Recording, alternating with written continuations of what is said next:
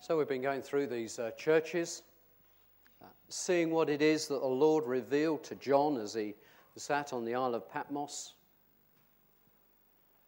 cut off away from those he loved, uh, just in a place where God could really speak to him uh, and he'd listen clearly and understand and, and recalled what was being said. And some of this is uh, easy, much of it's difficult, much of it's hard. Not that the words are hard, not that they're put together in, in difficult ways, they're not words that we don't understand the meaning of. It's just their impact sometimes is, is, feels a bit harsh, feels a bit uncaring, perhaps. It feels a bit like something we really don't want to know. And certainly, as we try and apply it to our own lives or the lives of those we love or the lives of uh, our church, it perhaps becomes difficult. But it's here for our help. It's here to help us know more about the God that we love and serve. It's, it's here to help us with the way that we live our lives day by day. And it's really easy to miss out bits of the Bible you don't particularly like. Bits of the Bible you, you perhaps find difficult or, or perhaps don't agree with. It's really, really easy to make God in our image instead of accepting that we're made in His image. So here we have this, this church. Thyatira was a okay sort of church, really. It would seem. Uh, I wonder. And here's the message that comes to them. To the angel of the church at Thyatira, write. So, what sort of town was it? What, what sort of place was it?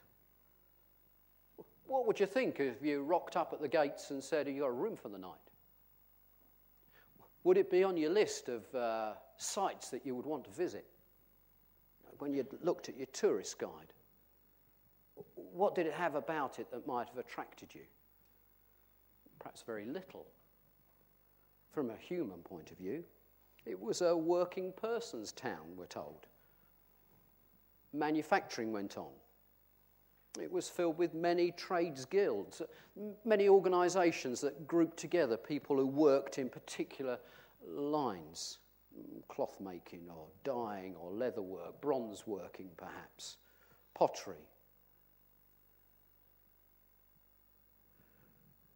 But the most significant thing that we might know about it, apart from this mention here in Revelation, is through Acts.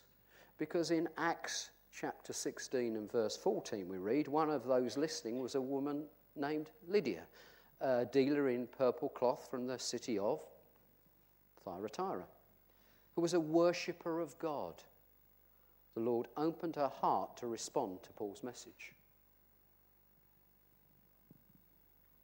That's it. So she lived in this city. She was a God worshipper. So within the city, there was the opportunity to worship God. And clearly, she worshipped a God in a way that made her open when Paul spoke about the Lord Jesus Christ, that made her understand. Whether because it sounded familiar or whether it sounded a huge contrast to what her previous way of life had been in her relationship with her God. We don't know. We're told that uh, Thyatira hosted a major cult of Apollo, the son of Zeus, the deity associated with, the, with prophecy and the sun. And Roman emperors liked to be linked with Zeus as well. So they'd often come and worship Apollo. And so it's thought that they might have come to Thyatira, and as is, this was supposed to be his earthly manifestation, and they would have worshipped there. So that would have got them some notoriety as well. And, and, many of the trades we've talked about, all of the trades that we've talked about that were uh, centred here, wouldn't have been unique to this particular place. But this um, bronze workers' guild in the city perhaps was root of some of the issue that Jesus was talking about when he came and talked to John about this city. So we start as we've started in other evenings with a description of some other aspects of our Lord Jesus Christ in verse 18. Second part said, These are the words of the Son of God, whose eyes are like blazing fire, whose feet are like burnished bronze. And we've learnt in the times that we've been looking through Revelation that these you know, aren't literal, they have uh, some sort of meaning. Christ's description of himself as a speaker to this church is that he's the Son of God. These are the words of the Son of God.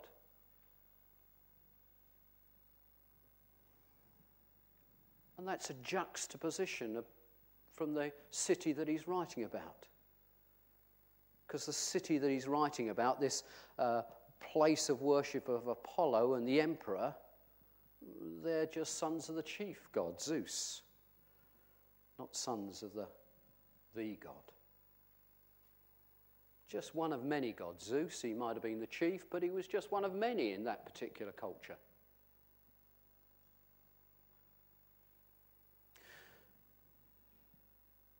And interestingly, this title, the Son of God, isn't used anywhere else in Revelation. The Son of God has eyes like flames of fire and feet like polished bronze, it tells us.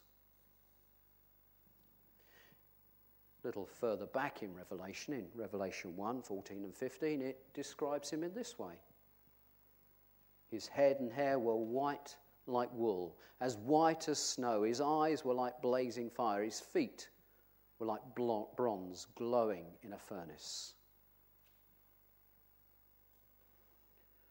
Another description in Daniel, it describes in this way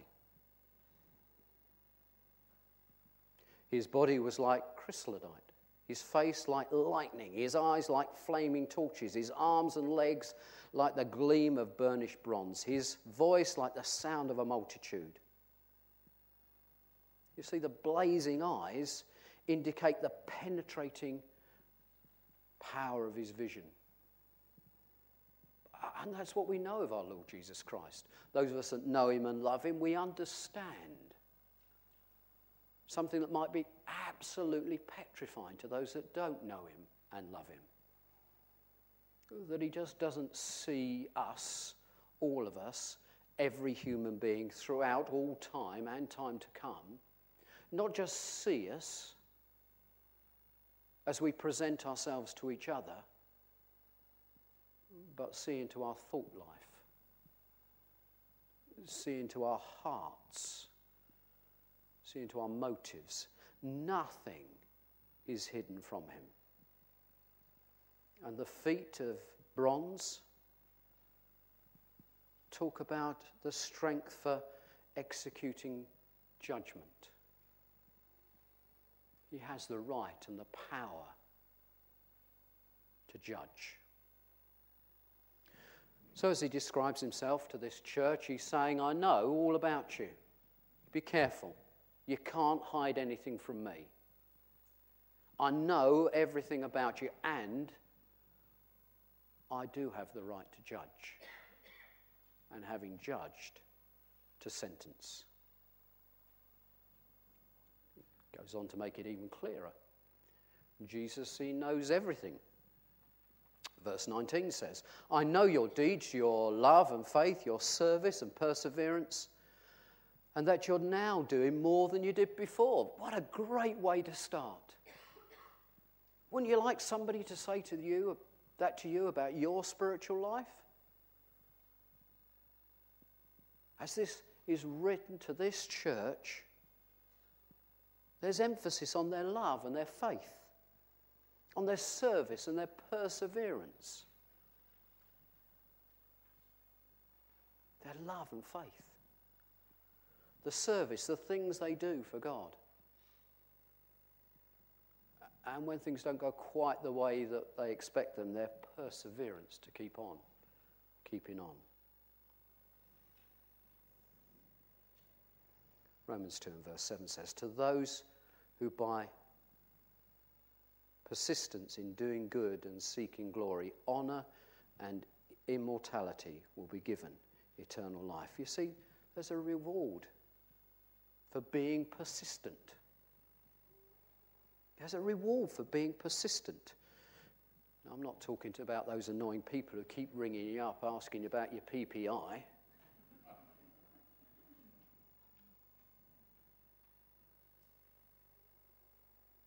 But that persistence to keep on keeping on, to not give up, to keep on when all seems lost, when, when your dreams don't appear to be happening. That loved one you've been praying for for so many years doesn't seem to have any notion of what's going on spiritually at all. Perseverance. Perseverance. It's really lovely, isn't it? As I said, it was great to hear the testimony of those four people last weekend as they went through the waters of baptism, but just hearing other people's testimony. Or meeting somebody you haven't seen for a long time and hearing how God's worked in their lives in amazing ways. Just hearing part that perhaps something you've said or, or the prayers you've been praying for such a long time that seem to be so fruitless. Actually, God's heard and, and God's been working. Yeah, I'd really like it to happen sooner and more obviously. But God is at work in the hearts and lives of those that we pray for. Like the church here, we need to be those that persevere that are persistent. You see, the, the believers here are commended for those good deeds. When Christ says he sees them and knows them, it's their good deeds as well as their not so good deeds that he knows. He knows how they love one another. He knows about their faith. He knows the way they move by His guidance in areas that they don't see happening yet. That's what faith is, isn't it? Moving and doing things you don't quite know what's supposed to be happening, but you're just obedient to the moving of God through His Spirit. For the way they serve one another.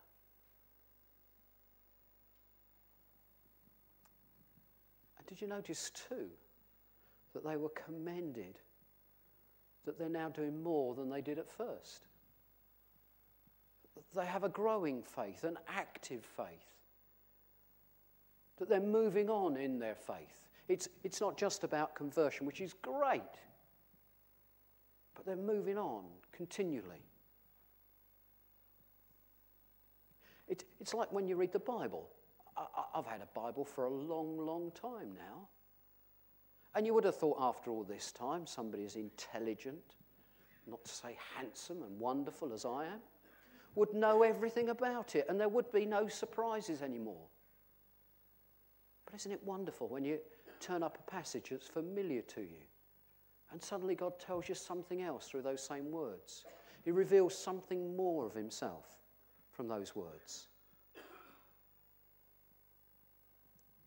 And then we go out and do something about it.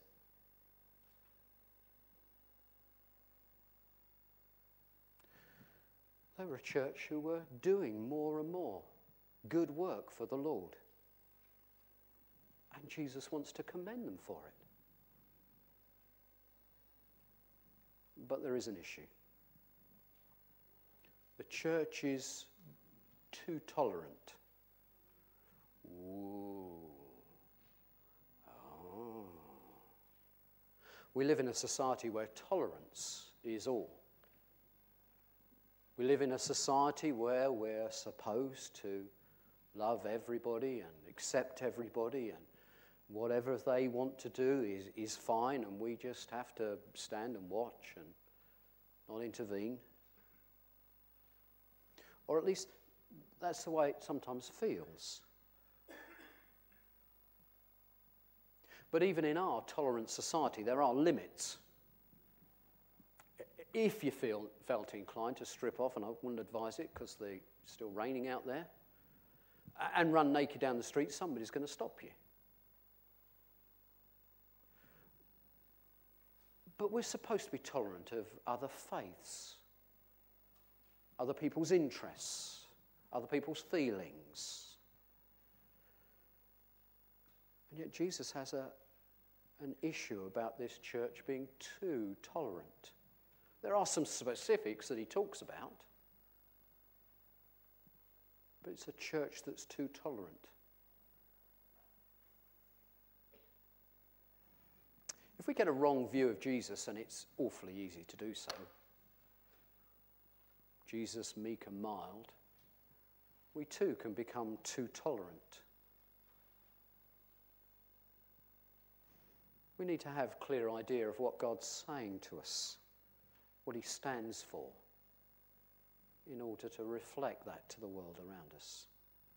In this case, we read in verse 20 Nevertheless, I have this against you. You tolerate that woman, Jezebel, who calls herself a prophetess. By her teaching, she misleads my servants into sexual immorality and the eating of food sacrificed to idols. Now, as this letter's written and as it's shared, the fingers aren't pointed at a lady in the church called Jezebel. Jezebel is a, is, is a pseudonym, it's a, it's a reference to the nature of a biblical character. In 2 Kings 9 and verse 22, it tells us that when Joram saw Jehu, he asked, Have you come in peace, Jehu? How can there be peace? Jehu replied, as long as all the idolatry and witchcraft of your mother Jezebel abound. You see, Jezebel is a character that the church would have known from the scripture. It was a church, it was a person that they would have been able to read through the words and understood what was going on. There was idolatry and witchcraft going on that she was at the center of. There was a sin that she helped to, uh, helped to generate and to see grow. Not content with being a sinful woman, she was a woman who wanted others to join. Uh, this person in the church that we're thinking about was seducing people into the worship of idols and into sexual sin. Thyatira, it seems, had the opposite problem to that of Ephesus. You remember, Ephesus had been good at dealing with false teachers. They're commended for their dealing with false teachers, but they didn't love very well. That they were good at the tough love stuff, but not very good at the arm round of the shoulder stuff.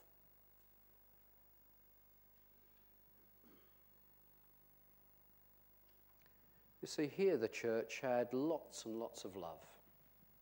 Lots of love. People were welcome to join. The doors were thrown open, and all were made to feel welcome, it would seem. But they become tolerant, therefore, of the views that other people brought in with them. They become accommodating. Well, well, if that's the way you see it, we'll, we'll change things around so they suit you better. If that's what you think, then, then we'll do that.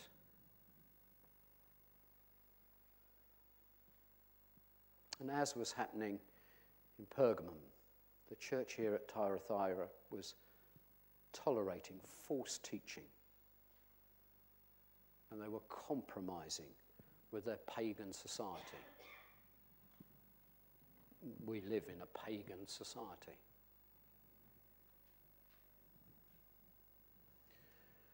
You see, because many of the people in this church were tradesmen, there were things that you did as tradesmen.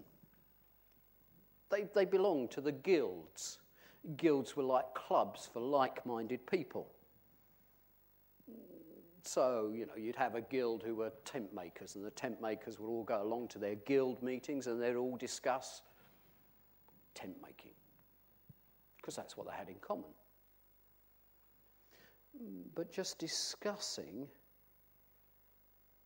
their line of work, their line of interest, the things that floated their boats, there were other things involved in their coming together as guilds as well. It appears they'd meet on a regular basis, perhaps once a week or once a month. Sound like a club you belong to? And at these, uh, these banquets, there'd be some idolatry going on. The uh, clubs, societies, these guilds would have their god, the god of the tent makers. Don't know how you get to be a god of a tent maker. Uh, and they'd sacrifice they'd have offerings to the god of the tent makers. I doubt if it was called the god of the tent maker, but anyway. So they'd sacrifice. And as part of their celebration,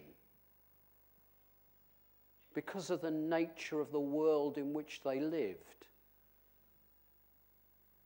there'd be sexual license as part of their celebration.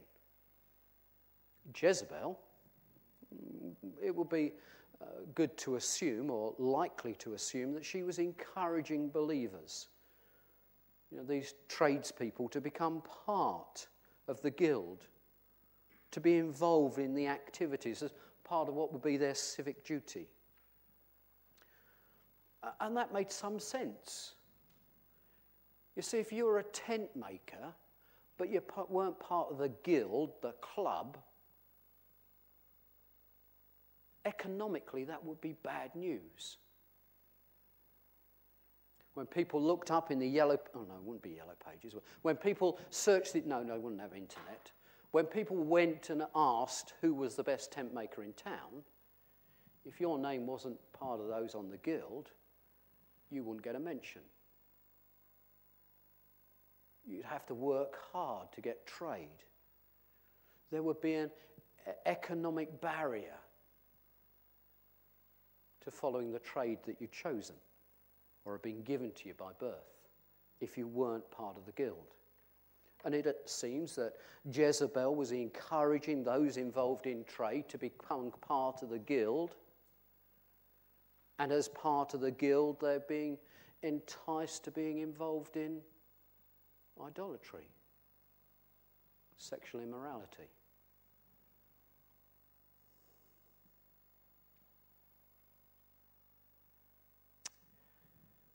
Yeah, we'll come back and think about that in a minute.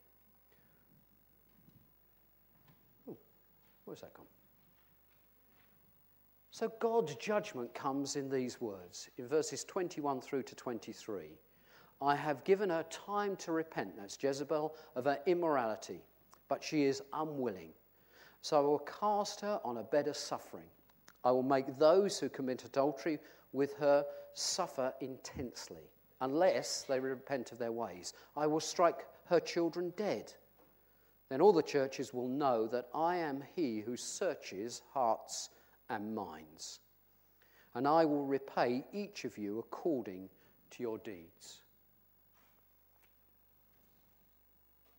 the message goes on, divided into four main headings about what is being said to the people involved. First of all, to Jezebel. To Jezebel, we're told, I have given her time to repent of her immorality, but she is unwilling. So I will cast her on a bed of suffering. One thing I'm so pleased about my God is his patience and loving kindness. But however patient, however loving and kind he is, there are limits. And it seemed Jezebel had been given opportunity. Perhaps other people in the church or, or people ministering on, uh, you know, wayside ministers, or, or by some method, perhaps directly from God, she'd been told that her ways needed adjusting. And she decided that she wasn't going to do anything about it. The message says, I, God, I have given her time to repent.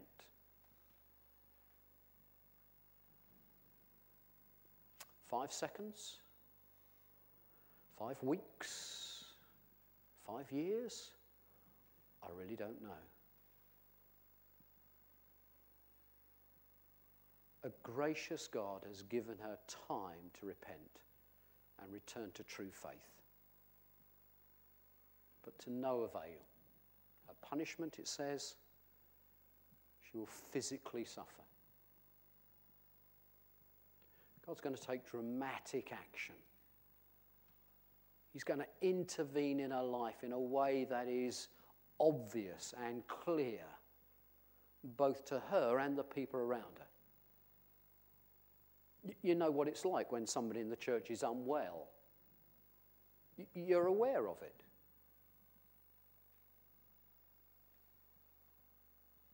So too here. You see, God's judgment just isn't upon her. It's about the hangers on too. You know, those people that aren't really involved, they're just sort of on the fringes. They're not taken up by it, but they're just on the edge of what's going on. The influence is, is having some impact, but it's not great. He says, And I will make those who commit adultery with her suffer intensely unless they repent of their ways. Who could these be? What grading of people might we call these? Perhaps it's the people that have heard the message. You, you, need to get down to your guild. You really need to go to those tent makers' meetings. I, I know you don't like them, I know they're a bit weird down there, but you ought to be in the world with them. Oh, okay, I'll go. If you say so, Jezebel, it must be the right thing to do.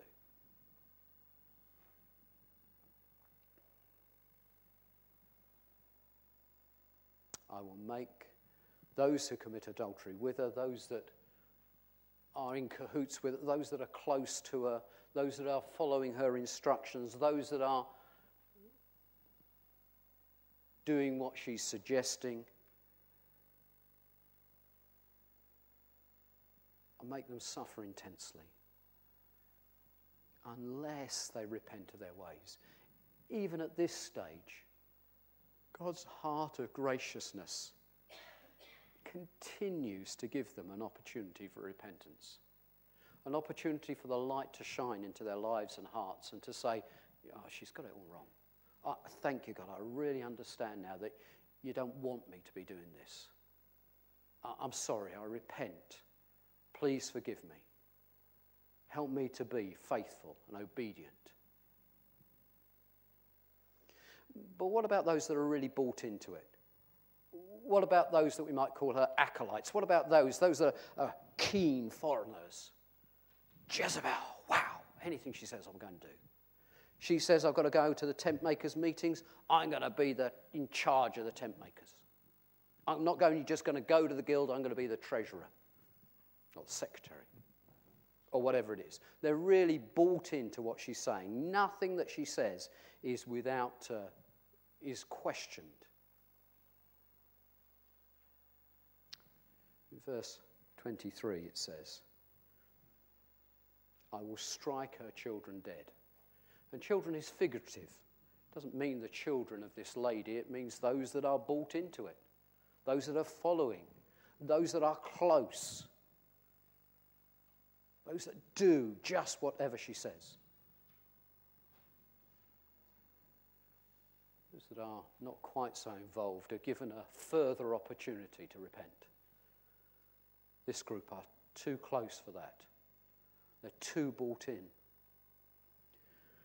and the judgment upon them, I'll strike them dead. Oh, you know, you're messing with my mind again. I, I can't get it. You keep talking about the graciousness of God. You keep saying that I can come and come and come again and ask for forgiveness, and God will forgive through the death and resurrection of the Lord Jesus Christ, through all that He's done. And yet you're now telling me that there are limits. You're now telling me that there's going to be a time when I'm not telling you. That appears to me what Scripture is telling us. And what about the rest of the church? What about the everybody else? What about those that aren't the tent makers or the guild of, I don't know, shield makers, whatever? What about them?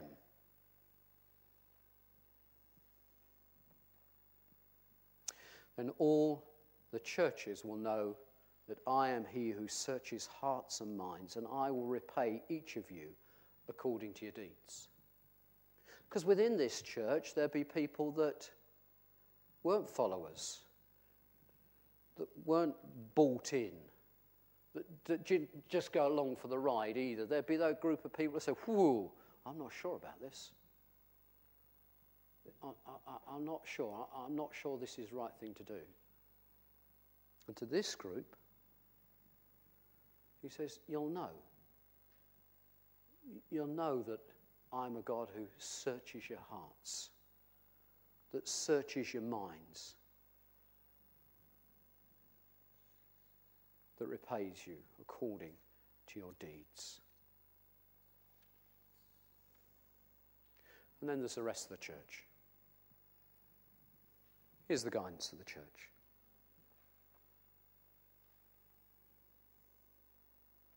Now I say to the rest of you in Thyatira, to you who do not hold to her teaching and have not learned Satan's so called deep secrets, I will not impose any other burden on you.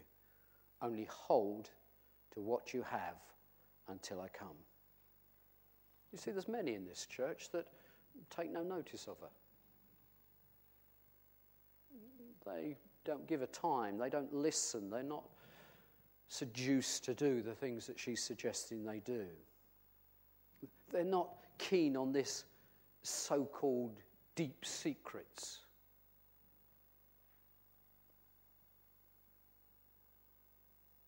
Some churches have little groups of people within the fellowship who think they have super knowledge or super interest.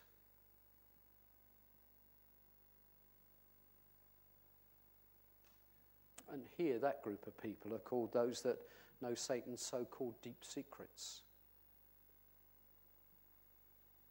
But on the rest of you, you're burdened enough. You've been living in this turmoil. You've been trying to live as you believe God wants you to live, and all this is going on around you. To you, only hold on to what you have until I come.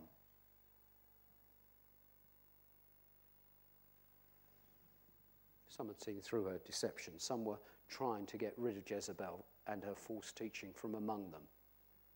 Christ's not going to replace responsibility for this action upon them. They're just told to hold on tight. Hold on tight to the truth. Hold on tight to what they know of the Lord Jesus Christ, and what they've been told and taught about the way they should live their lives, the way they should go on.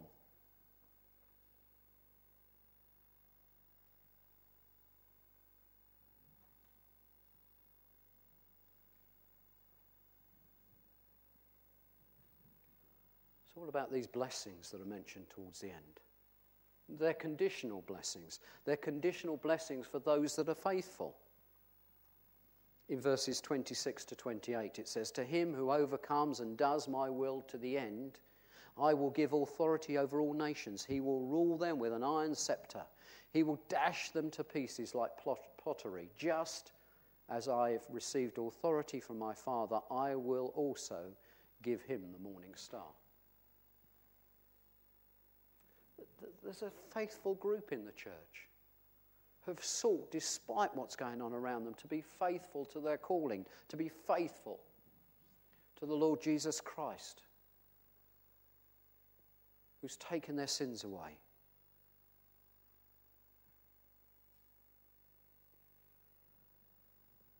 And they're going to be blessed. They're going to have greatness thrust upon them. In the difficult things they've gone through, they've stood firm. They've been faithful and the reward comes. Authority over the nations. Psalm 2 8 and 9 says, Ask of me, and I'll make the nations your inheritance, the ends of the earth for your possession. You will rule over them with an iron scepter, and you will dash them to pieces like pottery.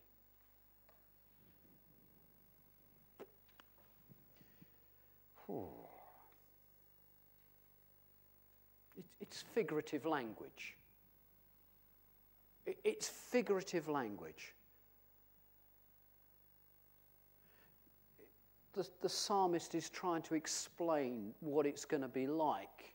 Uh, and perhaps it doesn't quite come across to us in a way that's helpful to us. Perhaps it does. You know, neither part of it fits comfortably somehow with our 21st century mentality. Because as nice Christian people, we wouldn't want to rule over anybody. Oh, that's not what we're called for. To rule? Oh, no, no, no, no, no. And what about smashing them to pieces like pottery? Or ruling with a heavy scepter?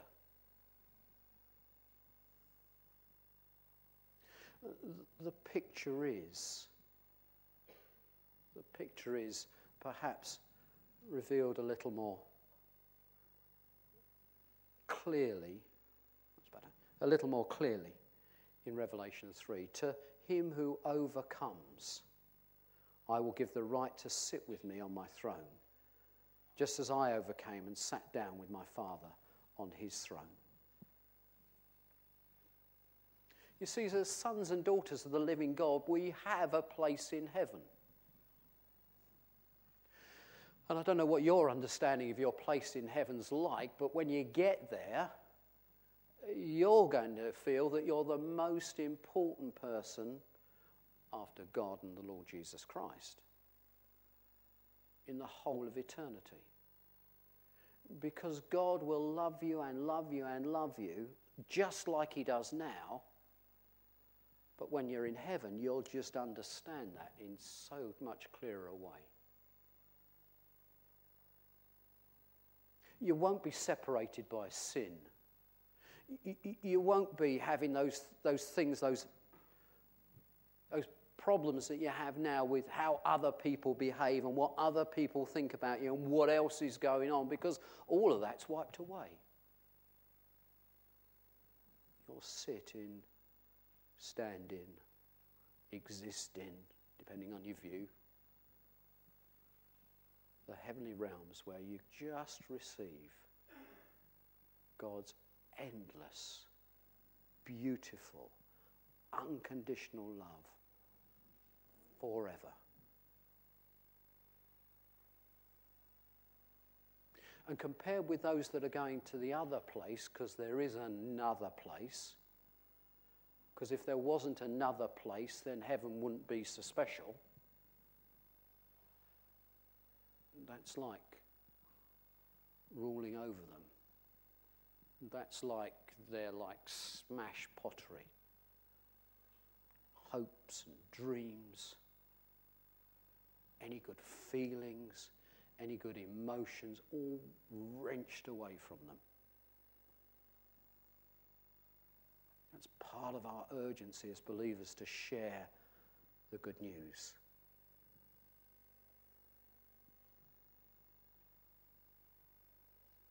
Uh, we're going to slip, slip on because the time's running.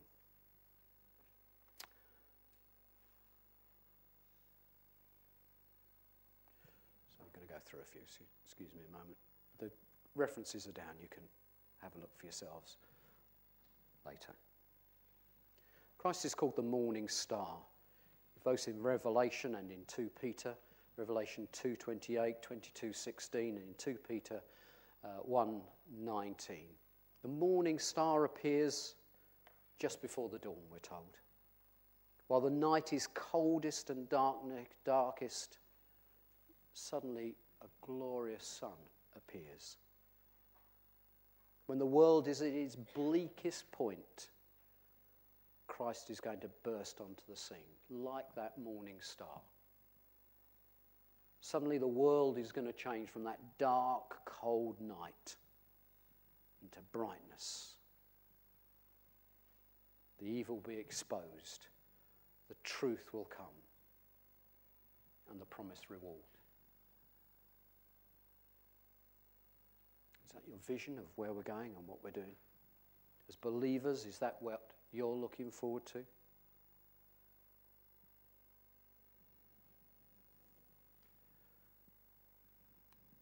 The judgment complete and the example set. Verse 29 says, He who has an ear, let him hear what the Spirit says to the churches. Listen, hear, understand. Listen, hear, understand. That's what we're told to do. Listen, hear, understand. What about you? What about you? Do you listen to what God's saying? And when you've listened, do you actually hear what He said? I have very selective hearing, it's part of my gender.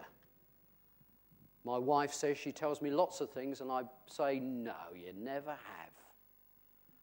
I don't remember you saying that. When did you say that? And she can repeat the moment, what I was doing at the time, what I was wearing, every detail.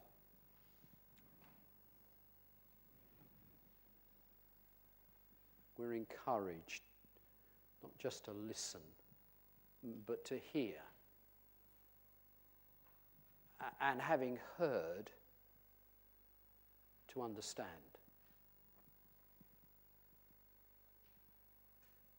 See, the church was reasonably okay.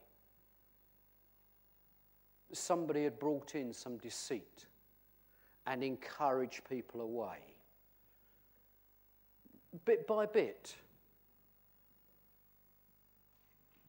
It was just, you know, well, I think we ought to relate a bit more to the world around us. I think we ought to be more involved in the community.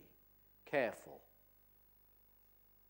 If we don't relate to the community around us, we've got nobody to share the gospel with.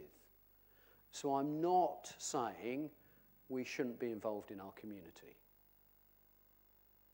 But this lazy, lady Jezebel was suggesting more than just being involved in the community. And we need to be careful. Careful that although our motives might be right, when we're away from the family of God, we're clear about what it is we can and should be doing, what we shouldn't and can't be doing. God gives us wisdom. God's left His Holy Spirit with us. If there are areas that you're not sure about, before you get in too deep, share it with somebody.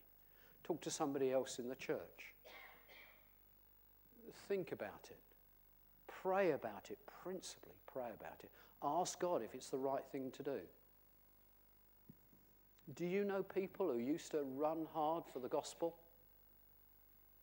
and got involved in some really good community project and ended up spending so much of their time in that project or that place or that that they had no time left for God and meeting with God's people. That's a real fine line. That's a real fine line.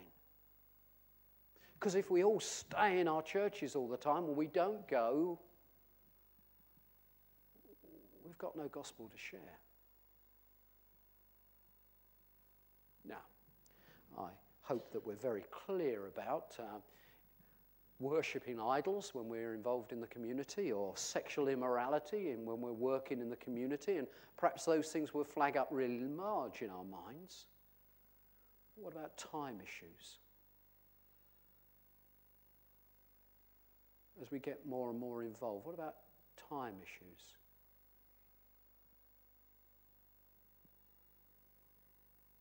What about being friends of the world and missing out on friends in the family, the church of God?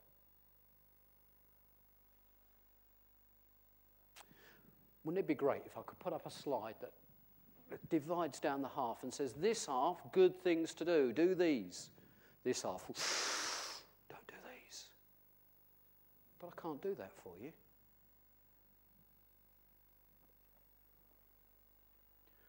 But an active prayer life, a faith that you can share with brothers and sisters in the faith, will help you know where that guideline is for you personally and individually. Let's bow our heads in prayer.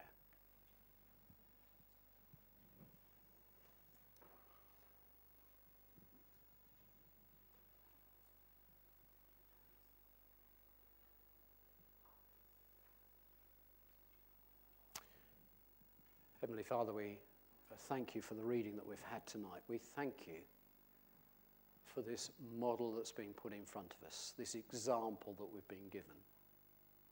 And we pray that you'd help us to apply it to our lives, our own lives, not the lives of others around us unless we're invited to.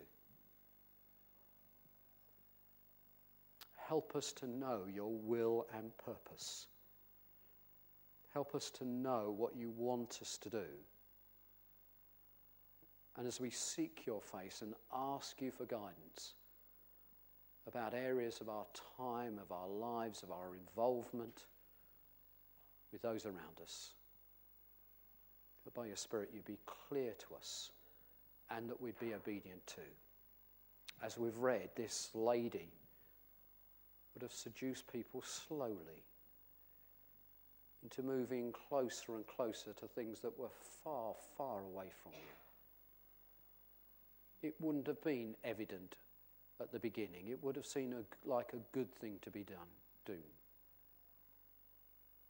And yet the result was such horrendous judgment. We thank you for your patience with us. We thank you that you extend such grace to us. Help us to be grateful that you are the ever and all seeing God. Help us to live lives that are open before you, we pray. In Jesus' name, amen.